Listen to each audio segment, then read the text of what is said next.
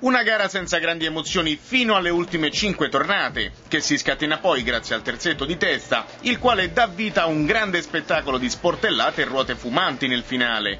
Questo è in sintesi l'epilogo della tappa di Norrisring del DTM. Green, primo al traguardo, è il primo a capire che per vincere bisogna farsi strada e così, dopo aver sopravanzato Spengler, si infila di prepotenza la Scholler davanti a Shader. Spengler sembra accontentarsi del secondo posto, ma a quattro tornate dalla bandiera a scacchi, mentre stava già pregustando lo champagne, il podio sfuma quando Shader tenta un sorpasso forzatissimo al tornantino finale, che l'ha costretto ad allargare in maniera esagerata la traiettoria lasciandosi così sfilare da Green. Ekstrom ringrazia l'accesa battaglia del trio di testa, che gli ha permesso di recuperare il distacco e conquistare un podio insperato fino a 10 giri dalla fine. Shader, in testa fino al 75 giro, ha concluso invece la gara solo in quarta posizione.